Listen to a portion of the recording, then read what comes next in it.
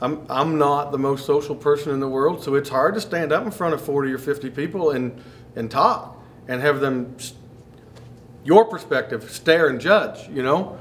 When it opens up into a conversation, then we're just all hanging out talking about race cars. becomes and- bench racing. And we, we can get into that. That that's easy. Our business model from day one, when we sat down and decided we were gonna we were gonna start this grip business, we will always start off in the most novice way that we can because we have found early on that the guy that's there wanting to get the basics, if we don't start off with basics, we'll lose him. He won't he won't get engaged in the rest of the conversations.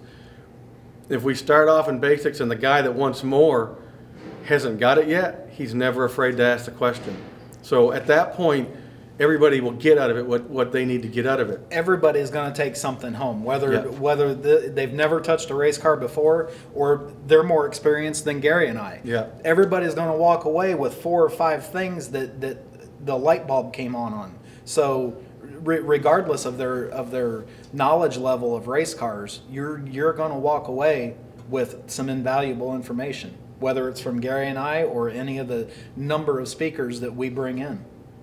And most times, it would cost you way more than fifteen hundred dollars to obtain it. I have spent way more than fifteen hundred dollars to, to learn it. Jason has spent way more than fifteen hundred dollars to, to do it. So it's, like I said right from the beginning, if, if we knew then what we knew now, it, that's all we're trying to provide to the guy that wished he could have access to it.